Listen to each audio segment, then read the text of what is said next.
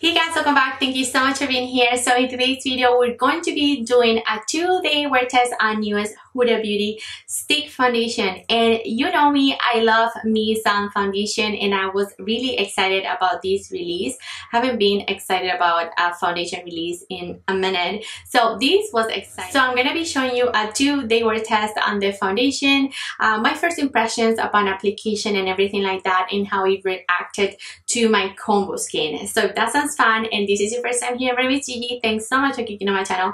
I hope you stay subscribed for more. Click that red button below and also come over to my Instagram because over there we do tons of fun things. I keep you posted on makeup sales, uh, new makeup releases, how I like, how I didn't like a product and everything like that. So go follow me over there and without further ado, let's start. Alright my friends, let's begin and as I mentioned, I love me some foundation. Every time a foundation comes around in Sephora, I do want to try it and this was no exception. I was actually quite excited for it. I've never tried her other foundation. It's just the claims on it don't appeal to me. Full coverage, thick, I don't know, heavy, cakey, all those things that they just don't appeal to me. But this one, it, it, looked really intriguing. So this is the Fox Filter Skin Finish Buildable Coverage Foundation Stick. This retails for 51 Canadian dollars and it is a lightweight foundation that glides on easily providing customizable coverage with a natural looking skin-like finish. Coverage is full to light, which I thought it was very interesting. The finish is natural, the formulation is thick and it's for all skin types, so normal, dry, combination, and oily. This is a fragrance-free foundation. Hmm. Transfer proof, waterproof, humidity, and sweat resistant formula melts into the skin for a natural filter finish. Whether you prefer full or light coverage, this versatile formula will let you be the master of your complexion. Swipe it on, set it, and forget it for the rest of the day sign me up. The Sephora website, I see over 38 shades, I think 39. So when I went onto Sephora to pick up my shade, the IQ, whatever the test was broken. It was not working for this foundation. I was so annoyed. Of course, they have the models, they have the undertones. I should be able to pick up my shade, right? Easy. Hmm. Not the case. I was... I ended up with a 310G Amaretti and I think this is fine. You're gonna see in the demo of me applying it day one. I didn't apply any primer this day. I went ahead with a really light layer to my right side of my, you know, the face. I applied it with a brush and it looked really nice. Then I went ahead and I did the same for the other side and you know, it looked quite nice. I had a really natural kind of day. I am going to insert a clip at the end of the day of that day right now so you can see what it looked like after a full six hours of wear.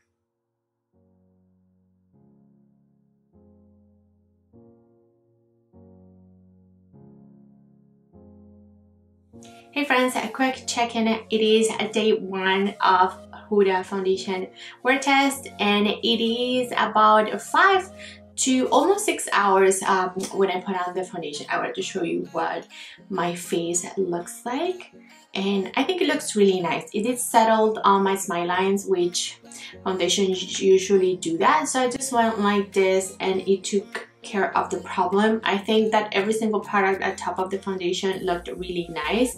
In person, it looks extremely natural. You can really see all my, I have like some breakouts right here that this foundation was able, can you see them now? It was able to cover them, but not completely, which is okay. It's more your natural, but really nice and looking foundation. Um, I do have my texture here that you're able to see no problem my t-zone is slightly you know oily i didn't put on any primer for today to try it tomorrow we are going to prime underneath the foundation but this is six hours post um, post application i think it looks really nice and natural so that was day one six hours of wearing the foundation I really liked it. I thought it looked nice. I was shiny on my T-zone. I didn't apply any primer, so I said, you know what? For the next day, I am going to do a longer wear test and I am going to prime. So now let me show you how I applied the foundation today um, with a primer and what my first impressions and thoughts were um, today. Okay friends, so let's get started and for today application, I am going to be using my YSL um, Touch Eclat Blur Primer which is um sort of like perfecting hydrating kind of primer. This feels really silicony but very nice on the skin and it just makes any makeup you know stick and wear nicely but it is, it is also hydrating. So this should pair well with her, you know, her foundation. She has a primer, but I didn't want to pick that up. Um, her primer claims to be a little bit like you know jelly consistency just like um like the milk which i don't really enjoy so i am um, i did wanted to stay away from her primer so this is the packaging. I think it's nice. I think she could have done a better job at making these not so thin and plasticky, but I do like the aesthetics of the foundation. Um, I did pick up the shade Amaretti 330G and how I applied it yesterday and I think I was successful at it is just directly into my face like this. Applied it with a brush yesterday as well. I think this is really really nice and just easy to blend look at that two seconds pretty much it took for me to blend this foundation and this is what it looks like with that thin coat of it I think it's really nice the color looks a little bit dark but once it's you know settled with everything and the setting powder and everything I think it looks really nice the finish is um, just really natural I think but um, I'm just so shocked at how easy this is to just apply. This is gonna be for easy, easy makeup days. So look at that. It took, it takes seconds to really, you know, buff this foundation. I'm gonna apply a little bit more just on my nose.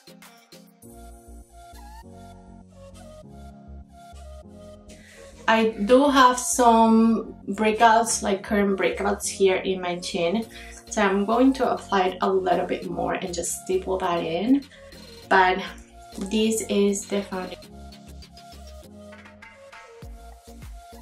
Again, it just looks extremely, extremely natural, um, but it never uh, looked makeupy when I applied it yesterday after I had it for a while. So I quite enjoyed these foundation So let me just have finish off the rest of my makeup. so now you saw those two days of application. What do I think?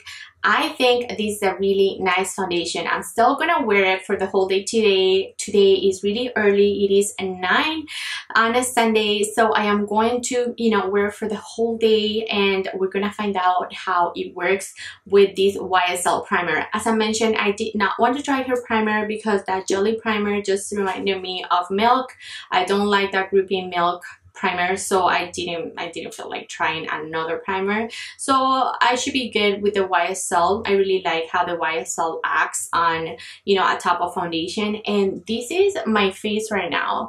It's been about half an hour or maybe over maybe an hour because I was filming another video which by the way I'm wearing Rare Beauty from a little eye palette in Hmm, I like that. Anyways, I did apply some Charlotte Tilbury um, highlighter, which is, you know, more natural. I didn't apply a ton. I didn't apply any on my nose so we don't get extra shiny or oily. I don't usually touch my face when I apply my makeup. I, I literally forget about it. I don't know if I'm going to wear, be wearing a mask today. Today, I think it's a relaxing kind of day, so I don't even know if I'm gonna leave the house. And that's why I decided to do a two day because yesterday was same thing. I just stayed here for six hours when I applied the foundation and I didn't go anywhere. So I didn't think it was fair to do only those six hours and that's why I decided to do a full two days, you know, wearing the foundation. I may go out and I'm going to purposely purposely applied a mask and I'm gonna let you know if it transferred or not. The claims on this foundation are really really high. It's claiming to be waterproof sweat resistant transfer resistant everything like that just like the NARS. On NARS you get 1.5 fluid ounces of product and on Huda's you get only 0.44 ounces. Triple. This is the true uh, transfer proof, you know, humidity resistant kind of foundation. So I'm going to be comparing it with this one at the end of the day because this foundation wears really well with a mask. So let's see how this beauty does today. I'm going to come back, as I said, at the end of the day and just show you uh, what the foundation looks like. But I'll bring you closer so you can see me up and personal. Hey, we're here. So this is the foundation. And you guys, I think it looks very pretty. I do have some breakouts in my chin, but it covered them really good. I, I did go in twice. So the first layer, I could still see a little bit of redness. On the second layer, it was fine. I think this looks really pretty. It really looks filtery just like she's claiming that it is. I did apply her Huda powder both yesterday and today. This is a powder that I really liked. I've talked about this one. I recommended it for myself for the Sephora sale recommendations. I think this is a great setting powder, but it is so scented that I hold my breath. I applied it and then I can breathe again. I am so, so happy that she decided to make this scent like fragrance free. Thank you, Huda. My goodness, this is so nice fragrance free. I like that. Anyways, I do love I do love this foundation. It does look very nice and pretty in person. It does settle here on my smile lines. It did happen yesterday and it just, I just realized that it is settling right there. But this is something that happens it feels a little bit sticky. I guess I didn't put enough setting powder. I just really usually do a light dusting of powder everywhere. I don't go crazy with the powder. So I can let, you know, the foundation really be. And yeah, this is looking really nice. So I'm gonna see you guys at the end of the night for my final thought. Hey friends, and I'm back and it is uh, 1936 at night. Um, I did put on the foundation at 9 a.m. So 10 hours and a half since I placed my foundation. And I have a lot of thoughts but they're really good thoughts. Like what do you guys think what this looks like? I think it looks pretty good. Let me bring you in a little bit closer. All right. Here we go. So I did wanted to point out my nose. I did wear a mask for a little bit like I don't know, half an hour or so, and it rubbed off on my nose. So the claims that it's transfer proof, I don't, I don't necessarily agree with that. Uh, my chin looks really good. I do have those breakouts there, but it didn't, you know, it didn't nothing. It looks really good. It didn't emphasize any of the dryness that I have going on. I also wanted to point out that the foundation did set on uh, my smile lines which I mentioned um, right after I put it on. So um, that usually happens. It was not overly creepy. I did want to say that the foundation um, around here it just feels a little bit tackier um, than here. So I guess I didn't put enough you know around here of the setting powder. Here have my blush, bronzer, and everything. So that really helps to like lock the foundation a little bit more. Um, but I do really like this foundation. I really enjoyed it. I think that is so, so easy to apply, so quick for on the go. It looks very natural and nice in person. I think that it worked very nice for almost 10 and a half hours. I think this is pretty good. My forehead is pretty much intact. It doesn't look creepy or dry or it doesn't emphasize any of my, you know, just a dryness around my mouth that I always look for on a foundation that they do tend to just look weird around my mouth when I have dryness.